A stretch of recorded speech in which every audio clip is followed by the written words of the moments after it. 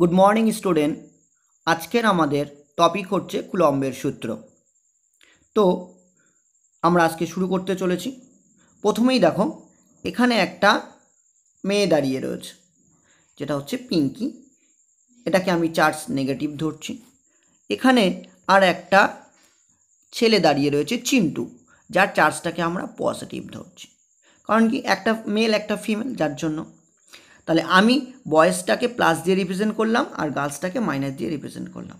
তাহলে দেখো, এ যখন হাই পাঠাচ্ছে তখন কি করছে? স্মাইল করছে। তাহলে এদের মধ্যে কি কাজ করছে? কিন্তু অ্যাট্রাকশান ফোর্স বা আকর্ষণ বল কাজ করছে। তাহলে অলওয়েজ আমরা বুঝতে পারলাম, দুটো যদি অপোজিট চার্জ হয়, তাহলে একে অপরকে কী করবে? আকর্ষণ করবে। এটা আমাদের বাস্তব লাইফের অভিজ্ঞতা। এবার, যদি আমরা দেখি কি? না, এর পাশে কিন্তু চিন্টুর পাশেই আর একজন দাঁড়িয়ে আছে। এ যখন স্মাইল করছে, সেও কিন্তু কি করছে? এও কিন্তু একে অ্যাট্রাক্ট করছে। কারণ কি? এও হচ্ছে পজিটিভ তাহলে পজিটিভগুলো অলওয়েজ নেগেটিভকে কি করবে? আকর্ষণ করবে। কিন্তু যদি আমরা দেখি, এদের দুজনের মধ্যে পজিটিভ আর পজিটিভের মধ্যে, এ কি বলছে? দাঁড়া, ওকে দেখে হাই করছিস তো ঠ্যাংটা আমি ভাঙবো। তাহলে এদের দুজনের মধ্যে অলওয়েজ কী কাজ করবে? বিকর্ষণ বল কাজ করবে। তাহলে যদি সেম চার্জ হয়, তাহলে তাদের মধ্যে কী হয়? বিকর্ষণ বল কাজ করে। একই রকমভাবে যদি এই দিকে চিন্টু একা থাকতো, এই দিকে আরেকটা মেয়ে রয়েছে, যে চুটকি। তাহলে এও কি করতো? এও কিন্তু যখন এ এখান থেকে স্মাইল দিয়ে হাই করছে, এও কিন্তু একে কি করবে? অ্যাট্রাক্ট করবে। কারণ এ হচ্ছে নেগেটিভ আর এ হচ্ছে কি পজিটিভ কিন্তু এদের দুজনের মধ্যে যেহেতু এরা দুজনাই নেগেটিভ দুজনাই সেম চার্জ তাহলে একে কি করবে? একে দেখে যখন স্মাইল করবে, এর তখন মনে মনে কি রাগ হবে? এর প্রতি একটা ঈর্ষা কাজ করবে। তাহলে এদের মধ্যেও কিন্তু কি কাজ করবে? বিকর্ষণ বল কাজ করবে। তাহলে আমরা বাস্তব লাইফের অভিজ্ঞতা দিয়ে কি দেখলাম? যদি বিপরীত দুটো চার্জ নেওয়া হয়, তাহলে তাদের মধ্যে আকর্ষণ হবে, আর দুটো সেম হলে কি হচ্ছে? বিকর্ষণ হবে। এবার দেখো, এদের মধ্যে আকর্ষণ বা বিকর্ষণ বলের মান কত হবে সেটা আমরা কুলম্বের সূত্র অনুসারে ক্যালকুলেট করব। এবার কুলম্বের সূত্রে আমি যাচ্ছি। কুলম্বের সূত্রে প্রথমত দুটো কন্ডিশন রয়েছে। ফার্স্ট কন্ডিশনটা কি? না, এই যে আধান দুটো এখানে আমি দুটো আধান নিয়েছি, একটা কিউ ওয়ান একটা কিউ টু এটা হচ্ছে কিউ ওয়ান আর এটা হচ্ছে কি? কিউ টু তারা মাঝখানে একটা আর ডিস্ট্যান্সে রয়েছে। এখন দেখো, যদি দেখি প্রথম কন্ডিশন কি বলা হয়েছে, কুলম্বের সূত্রে দুটো কন্ডিশন রয়েছে। এক নম্বর কন্ডিশনটা কি না, এক নম্বর কন্ডিশনটা হচ্ছে, স্যার, এদের দুজনকে স্থির হতে হবে। কেন স্থির হতে হবে? যদি এর থেকে ডিস্ট্যান্সে সরে যেত, তখন কিন্তু এদের মধ্যে আকর্ষণ বা বিকর্ষণ বলটা কিন্তু আমরা ক্যালকুলেট করতে পারতাম না। কারণ যখনই আস্তে আস্তে দূরে সরে যাবে, আকর্ষণ বলটা আস্তে আস্তে কমতে থাকবে। আবার যখনই কাছে আসবে, আস্তে আস্তে আকর্ষণ বলটা কি হচ্ছে? বেড়ে যাচ্ছে। তাহলে আমাকে যদি ক্যালকুলেট করতে হয়, তবে অবশ্যই এই যে চার্জ পার্টিকেল দুটো, সেই দুটো কি হতে হবে? প্রথম কন্ডিশন হচ্ছে এরা কিন্তু স্থির হতে হবে। তাহলে এক নম্বর কন্ডিশন আমি কি পেয়ে গেলাম? এরা দুটো হচ্ছে স্থির। তারপরের পয়েন্টে কি বলা হয়েছে? বিন্দু আদান হতে হবে। এখন বিন্দু আদান বলতে, স্যার, এটা যদি একটা স্পেরিকালের মতো বড় অংশ নেই, একটা আহিত কোনো ফাঁপা গোলক নেই, তাহলে কি বিন্দু আদান হবে? হ্যাঁ সেটাও বিন্দু আদান হবে। কি করে হবে? না, স্যার, দেখেন এই পাশের যে একটা ট্রি রয়েছে, এই যে গাছটা, গাছটাকে যদি আমরা খুব কাছ থেকে দেখি, তাহলে গাছটাকে দেখো একটা বিশাল বড় গাছ বলে মনে হচ্ছে। এখন এটাকেই যদি আমরা এক কিলোমিটার দূর থেকে সরে যাই, তাহলে গাছটা দেখো ছোট্ট হতে হতে হতে ডিস্ট্যান্সের সঙ্গে সঙ্গে একটা আমাদের কাছে একটা বিন্দু আধানে পরিণত হচ্ছে। তাহলে একটা কথা আছে ডিস্ট্যান্স মেক ডিফারেন্স যদি ওই চার্জ দুটোর মধ্যে ডিস্ট্যান্সটা তাদের সাইজের তুলনায় অনেক বড় হয়, তাহলে আমরা এই যে আধান দুটোকে বিন্দু আধান হিসাবে ধরে নিতে পারি। এই দুটো কন্ডিশন যদি স্যাটিসফাই হয়, তবে কি বলছে কুলাম? প্রথম কন্ডিশন এক নম্বর কন্ডিশন বলছে, এদের মধ্যে আকর্ষণ বলটা কি হবে? এখন দেখো ধরো দুজনের মধ্যে মারপিট হচ্ছে। এখন দুটো বাচ্চার মধ্যে মারপিট হলে একে অপরকে যে বল দিয়ে ঘুষি মারবে, যদি বড়দের মধ্যে যদি মারপিট হয়, তাহলে তখন যে ঘুষিটা মারবে, বলসটা অনেক বেশি হবে। ঠিক তেমনই এই আদান দুটোর পরিমাণ যদি খুব ছোট্ট ছোট হয়, তখন আকর্ষণ বল যা হবে, আদান দুটোর পরিমাণ যদি বেশি হয়, আকর্ষণ বলের মানটাও কিন্তু বেড়ে যাবে। তাহলে এই এর proportionals to Q one into Q two অর্থাৎ এই আধান দুটির গুণফলের সঙ্গে সমানুপাতিক। নাম্বার টু পয়েন্ট কি বলছে? এক্ষুনি বললাম, যদি আদান দুটোর মাঝখানে ডিস্টেন্সটা কমে যায়, তাহলে আকর্ষণ বেড়ে যাবে। আর যদি ডিস্টেন্সটা বেড়ে যায়, আকর্ষণটা কমে যাবে। তাহলে কি দেখছি? ব্যস্ত সম্পর্ক মানে একটা বাড়লে আর একটা কমছে। তাহলে বলছে এফ সমানুপাতিক ওয়ান বাই আর স্কোয়ার ডিস্টেন্সের স্কোয়ারের সঙ্গে ব্যস্তানুপাতিক।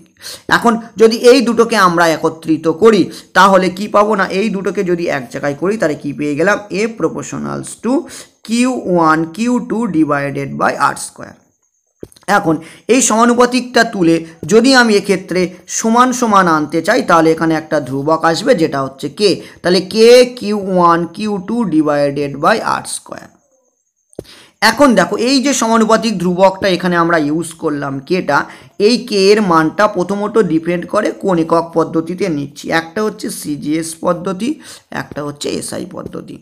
যদি আমরা সিজিএস পদ্ধতিতে দেখি, তাহলে সিজিএস পদ্ধতিতে আবার দুটো, একটা হচ্ছে কোনো মাধ্যম হলে কী হবে, আর একটা হচ্ছে শূন্য মাধ্যম হলে কী হবে। যদি কোনো মাধ্যমের ক্ষেত্রে হয়, তাহলে এই কে এর ভ্যালু হয়ে যায় ওয়ান বাই কে আর যদি আমরা অন্য কোনো একটা ভ্যাকিউম নেই, অর্থাৎ আমরা শূন্য মাধ্যম নেই, তাহলে কে এর ভ্যালুটা হয়ে যায় কত? এক। অর্থাৎ আমরা শূন্য কোনো মাধ্যমের জন্য যে ইকুয়েশানটা পাবো, সেই ফাইনাল ইকুয়েশানটা হয়ে যাবে F equals to Q one Q two divided by R square তাহলে এক্ষেত্রে আমরা এই যে অংশটুকু পেলাম, সেটা পেয়ে গেলাম কিন্তু সিজিএস পদ্ধতিতে শূন্য মাধ্যমের ক্ষেত্রে ফাইনাল ইকুয়েশানটা এখন যদি আমরা সেটা না করে যদি এসআই পদ্ধতিতে দেখি, তাহলে এখানেও দুটো কন্ডিশান যদি কোনো মাধ্যমের ক্ষেত্রে হয়, তাহলে কে এর ভ্যালু হয়ে যাবে one by four pi epsilon আর যদি এটা কোনো ভ্যাকিউম শূন্য মাধ্যমের ক্ষেত্রে আমরা এটা নিয়ে নেই, তাহলে তার ভ্যালুটা তখন হয়ে যাবে কি? না, তার ভ্যালুটা দাঁড়াবে one by four pi epsilon naught sir, এই ইপসাইলান আবার ইপসাইলান নটটা কী জিনিস? সেটা হচ্ছে কি দেখো, এই ইপসাইলান আর ইপসাইলান নটটা হচ্ছে এটা কোনো মাধ্যমের তড়িৎ ভেদ্যতা, এটাকে বলা হচ্ছে তড়িৎ ভেদ্যতা। অর্থাৎ ওই মাধ্যমের ভিতর দিয়ে তড়িৎ ভেদ করে যাওয়ার ক্ষমতা বা ইলেকট্রিক পারমিবিলিটি বলা হয়। এখন এই ইপসাইলানটা হচ্ছে কি, তাহলে এটা কোনো মিডিয়ামের ক্ষেত্রে, এটা এয়ার মিডিয়ামের ক্ষেত্রে? এখন এই দুটোর মধ্যে একটা খুব সম্পর্ক রয়েছে ভালো, সেটা দেখা যাচ্ছে কি না, ইপসাইলান ইকুয়ালস টু হয়ে যায় কে ইন্টু ইপসাইলান নট এখন দেখো, যদি আমরা এটাকে আরেকটু ভালোভাবে লিখতে চাই, তাহলে দেখো কে ইকুয়ালস টু এখানে কী পেয়ে গেলাম? ইপসাইলান বা ইপসাইলান নট অর্থাৎ কি? না, কোনো মাধ্যমের তড়িৎ ভেদ্যতা এবং শূন্য মাধ্যমের তড়িৎ ভেদ্যতার যে অনুপাত সেটাকেই বলা হয় কে আর এই কেটাকেই বলা হচ্ছে কি? না, এই কেটাকেই বলা হয় আপেক্ষিক তড়িৎ ভেদ্যতা বা পরাবৈদ্যুতিক ধ্রুবক। এটাকেই বলা হয় আপেক্ষিক তড়িৎ ভেদ্যতা বা এটাকেই বলা হচ্ছে কি আমাদের পরাবৈদ্যুতিক ধ্রুবক। তাহলে আমরা যেখানে যেখানে ইপসাইলান আছে সেই সেই জায়গায় দেখবে কে ইপসাইলান জিরো ইউজ করা হয়। তাহলে এসআই পদ্ধতিতে আমরা এফের যে ইকুয়েশানটা পাবো সেটা কি হবে? তাহলে এসআই পদ্ধতিতে আমরা এফের যে ইকুয়েশানটা পাবো, তাহলে F equals to one by four pi epsilon nought Q one Q two divided by R square তাহলে এটা আমরা পেয়ে গেলাম কিন্তু এসআই পদ্ধতিতে ফাইনাল ইকুয়েশান তাহলে আমরা দুটো ইকুয়েশান পেয়ে গেলাম। একটা হচ্ছে যদি সিজিএস পদ্ধতিতে হয় শূন্য মাধ্যমের ক্ষেত্রে, তাহলে সেক্ষেত্রে আমরা বসাবো Q one Q two by R square আর যদি এসআই পদ্ধতি, তাহলে one by four pi epsilon nought Q one Q two by R square এখন এবার দেখো, এই যে এফ এফটা হচ্ছে কি? বল। তাহলে বলটা হচ্ছে কি একটা ভেক্টর রাশি। কারণ কি? বলের মান আছে প্লাস দিক আছে। এখন আমরা কি করব? না, এটা তো পেলাম শুধু তার মান। তাহলে দিকটা কোন দিক হবে? তার জন্য আমাদেরকে দেখতে হবে কুলম্বের সূত্রের ভেক্টর রূপ। এখন কুলম্বের সূত্রে ভেক্টর রূপ করার আগে আগে এটুকু বুঝতে হবে, অবস্থানটা হচ্ছে একটা ভেক্টর। কোনো জিনিসের অবস্থান কি করে ভেক্টর হয়? তাহলে সেটা দেখার জন্য আমরা একটু চলো, ব্যাপারটা একটু বুঝে নেই আমাদের বাস্তব লাইফের অভিজ্ঞতা দিয়ে। ফিজিক্সটাকে যদি বাস্তব লাইফের অভিজ্ঞতা দিয়ে বোঝা যায়, তাহলে অনেক ইজি হয়ে যায়। এখন ধরো, আমি চিন্টুকে আমি জিজ্ঞাসা করলাম যে তুমি বাড়ি থেকে কোথায় রয়েছো? সে বলল, স্যার, আমি আমার বাড়ি থেকে দুই কিলোমিটার দূরে আছি। এখন ঠিক আছে, তার অবস্থান দুই কিলোমিটার দূরে, কিন্তু এটা তার বাড়ি। এখন দেখো, এটার বাড়ি থেকে দুই কিলোমিটার দূরে, সেটা তো পূর্ব দিকেই হতে পারে।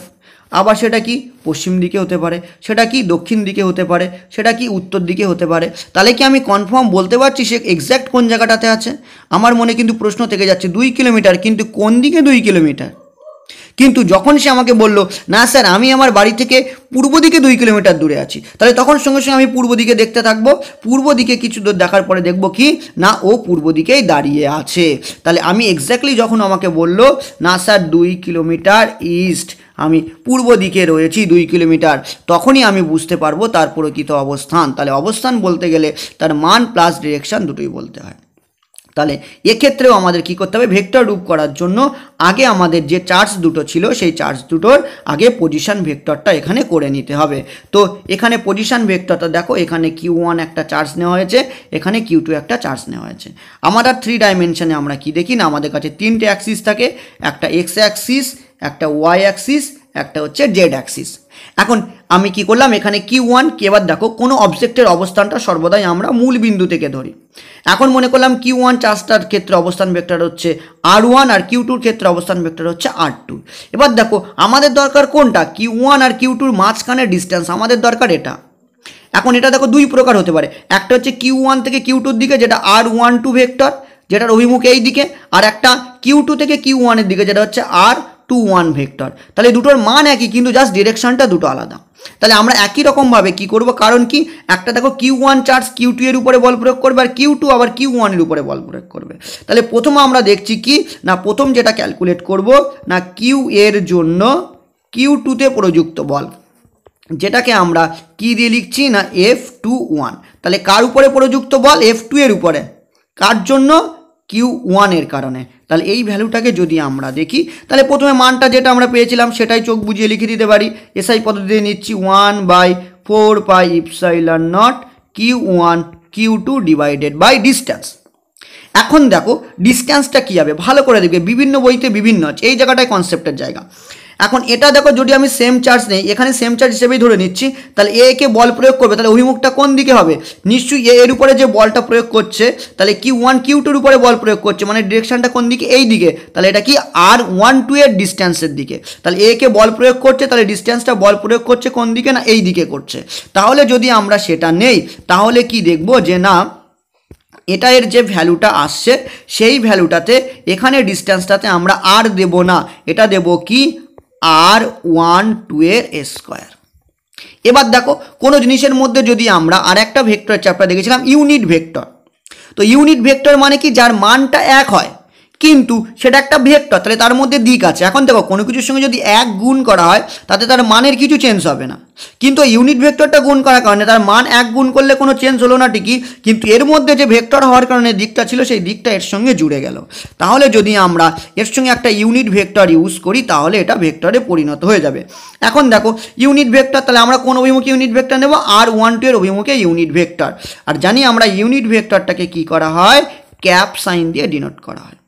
এখন দেখো, এরপরে আমি কি করলাম না, ইচ্ছা করেই এটাকে আমি আরেকটু মডিফাই করার কারণে দেখো, এই নিচের যে পোর্শনটাতে একটা আর ওয়ান টুকে মাল্টিপিল করব।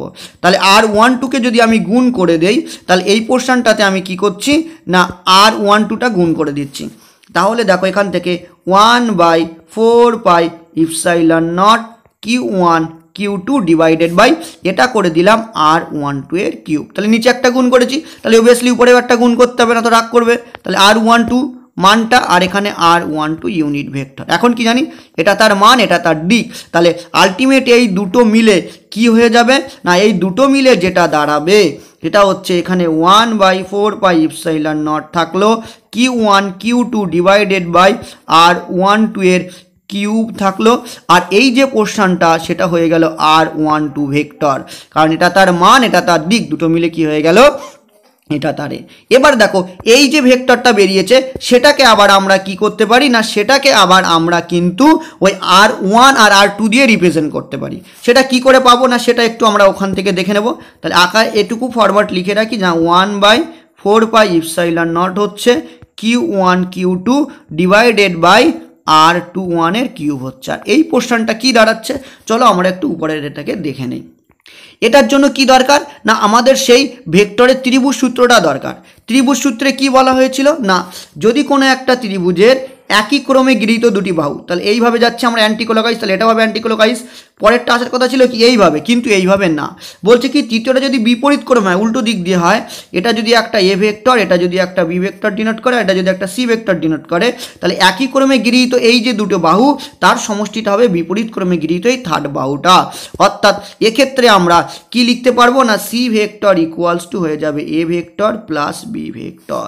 তাহলে এই জায়গাটাতে যদি দেখো, তাহলে দেখো এখানে আর ওয়ানের ডিরেকশানটা এই দিকে আর টু ওয়ানের ডিরেকশানটা এই দিকে কিন্তু আর টু এর ডিরেকশানটা কি অপোজিটে তাহলে এক্ষেত্রে আমাদের যেটা দাঁড়াচ্ছে, সেক্ষেত্রে, এক্ষেত্রে কি দাঁড়াচ্ছে এটা? না, এক্ষেত্রে দেখো আমাদের যেটা হবে, তাহলে R one vector plus R one two vector equals to R two vector দাঁড়াচ্ছে। তাহলে R one two vector equals to কী দাঁড়াবে? তাহলে R one two vector equals to দেখো দাঁড়াচ্ছে, এক্ষেত্রে আমাদের R two vector minus R one vector. তাহলে এই যে ভ্যালুটাকে বেরোলো, সেটা যদি আমরা এখানে পুট করে দেই, তবেই আমাদের এটা কমপ্লিট হয়ে গেল। তাহলে R two vector minus R one vector. এটাই আমাদের ফাইনাল ভেক্টর রূপটা পেয়ে গেলাম। এখন দেখো, এটা যদি আমি মনে করি যে না, এবার আমি কি করব? না, এটা তো আমাদের কি বেরিয়েছে? এফ টু ওয়ান বেরিয়েছে। তাহলে এটা কি বেরিয়েছে? আমাদের এফ টু ওয়ান প্রথমটার জন্য দ্বিতীয়টার উপরে প্রযুক্ত, বল।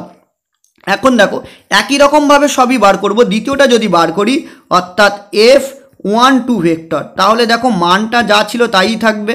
One by four pi epsilon nought Q one Q two শুধু ডিস্টেন্সটা দেখো, যেদিকে ছিল তার বিপরীত দিকে হয়ে যাবে। তাহলে এক্ষেত্রে দেখো, এর অভিমুখটা কোন দিকে ছিল? তাহলে এ যখন বল প্রয়োগ করছিল, তখন সেই বলটা প্রযুক্ত ছিল এই অভিমুখে। এখন এ যখন বল প্রয়োগ করবে, তখন এর অভিমুখটা হবে এই দিকে। অর্থাৎ তখন ডিরেকশনটা হয়ে যাবে আর টু ওয়ান তাহলে এখানে যেটা আমরা আর ওয়ান টু বসেছিলাম, এখানে শুধু বসিয়ে দেবো আর টু ওয়ান এর কিউব। আর এখানে সেটা হয়ে যাবে কি? R two one vector. আর একই রকমভাবে যদি আমরা ওটা করতে থাকি আগেরটার মতো করে, ত্রিভুজের সূত্র অ্যাপ্লাই করে ওখানে, তাহলে তখন সেটা দাঁড়িয়ে যাবে one by four by epsilon nought Q one Q two divided by R two ওয়ানের কিউব। এটা হয়ে যাবে R one vector minus R two vector. তাহলে এখানেই আমাদের ভেক্টর ফর্ম কমপ্লিট হয়ে গেল। আশা করি এটা বোঝা গেছে।